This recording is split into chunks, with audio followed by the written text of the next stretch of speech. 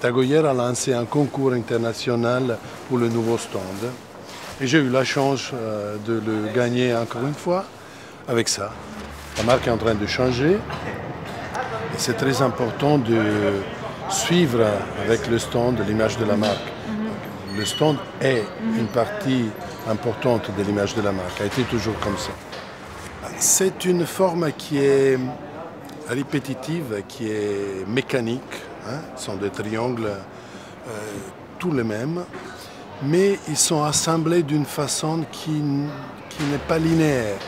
Ça fait environ 1000 mètres carrés. 1000 mètres carrés. Oui, ce sont trois étages d'environ 300 et quelques. Mhm. C'est une machine qui, pour vendre, pour travailler et pour communiquer. Et c'est toujours difficile parce que tu dois trouver une forme, une idée pour le stand qui n'est pas bien seulement pour le moment où euh, le, stand est bâti, mais qui va durer pour, de, pour 10 ans au moins. Alors tu dois vraiment arriver à interpréter le- l'esprit profond de la marque.